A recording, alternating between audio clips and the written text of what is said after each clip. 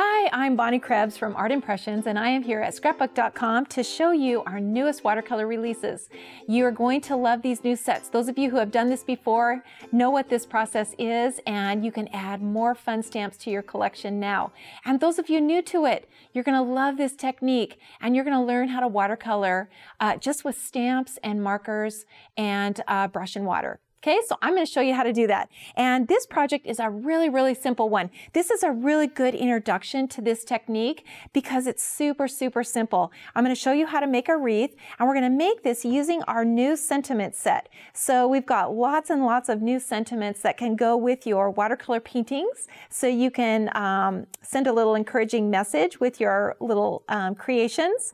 Uh, we're also going to use something from our Foliage 4 set. So we're going to use this little vine that kind of curves to the right, which means it actually curves to the left. So we're going to use that one and this little leafy branch right here. In addition to the branch to that, we're going to use something from the little branches set. So this one right here, the small one. And then in our flower set, the filler flower, and in the mini flower set, these tiny little dots. These tiny little dots are actually little flowers and they just work great. So super, super easy. Let's get going. So I have penciled in a circle. This is a two inch circle and you can, um, it doesn't have to be two inches. You can make it as big as you want it. This is about two inches and then I've die cut it with our new die set. This is a rectangular die set and has rounded corners. So there are lots and lots of different sizes. It comes with a double stitched edge edge so you get a really nice decorative edge on here. So I have already sort of prepped this and now we're just going to add our stamps to it. Okay, so let's get going. We're going to start out with that little leafy branch. And don't be afraid to turn your paper as you go around in a circle. Uh, if you're doing a more complicated wreath, here's a really good tip for you. Make a dot in the center and draw a, uh, um, a cross shape and just repeat in every quadrant. So just duplicate, stamp it once here, stamp it once here, and here as you go around. But in this case, this is a super, super easy one. So we're just gonna stamp it in a circle. Okay, so let's start out with inking that little grassy or uh, leafy branch. And I'm just going to turn as I go. So I'm to stamp it in once and a couple of times, maybe just another one and then ink it again. So you want to get at least two or three impressions before you re-ink. So always keep that in mind with this technique. It's just really, really important that you stamp that a bunch of times. That's how we get that three-dimensional look.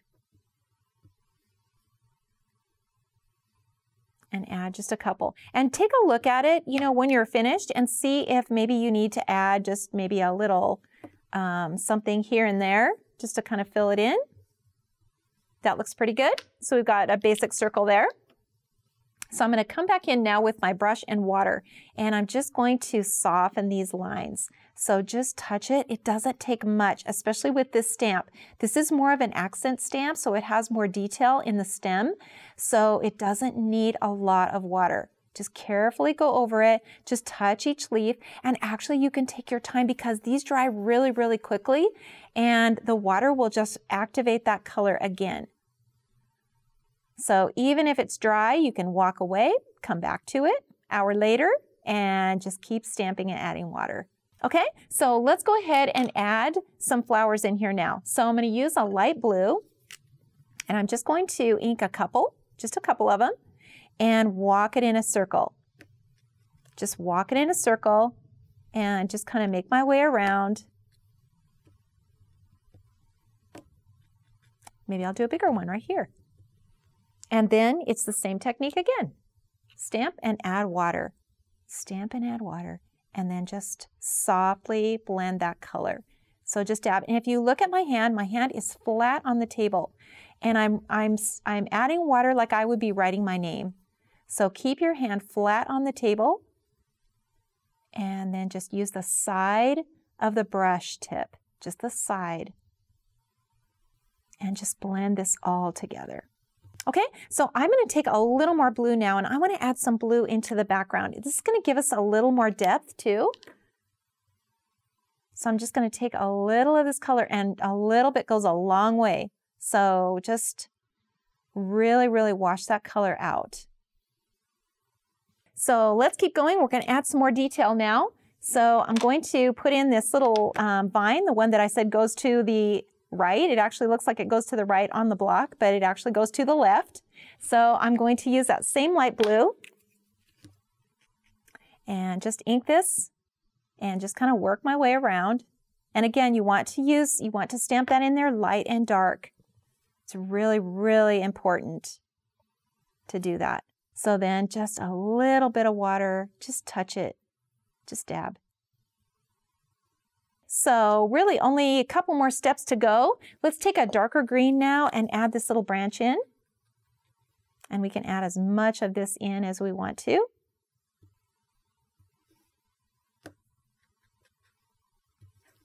Just kind of wherever you want to place it. So we are going to add one more element now to this little wreath. That is these little tiny dots and they're super, super little, but they actually add a lot of detail. So I'm just using a darker blue now and I'm going to stamp these in a circle as well. So everything is stamped on top of itself. Always remember that. That's really the, the whole technique in a nutshell is stamping it on top of itself so that we get that dark to light impression. So we just are um, at the at the point where we can add the sentiment now into the center and I've got it on a block here ready to ink up. And I'm just going to use my positioner because I want to make sure that I get it centered uh, and and right side up. So the positioner is just a little L bar like this and it comes with a little acrylic shield. And so I'm just going to ink up my stamp and I'm just going to use a dark blue here and just using my marker and just make sure you get enough ink on here. It's it's uh, it's a watercolor, so if it doesn't stamp really smoothly, that's okay. I think that kind of adds to the charm of it. So don't ever stress out about that. Okay, so now I'm going to place this into the center and make sure that I have this uh, exactly where I want it. So now that I've placed it on my shield, I can look at it and that looks pretty good right there. That looks centered. And now I can place my L bar back and just re-ink this one more time. Place this back in the corner and just stamp that down.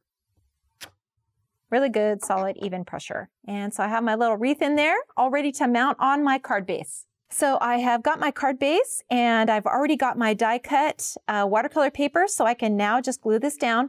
You know, these die bases can be really, really simple. Most of the attention and the focus will be on your watercolor. So just mount it on, uh, very simply. It kind of goes along with that whole idea of a simple, easy project that you can do in just a few minutes. So that includes your card base too. So I'm just attaching it to my paper and now to my, to my card base. Okay, so let's just sign it. Even though this is uh, just a little wreath, you still want to sign and date all of your work. So important.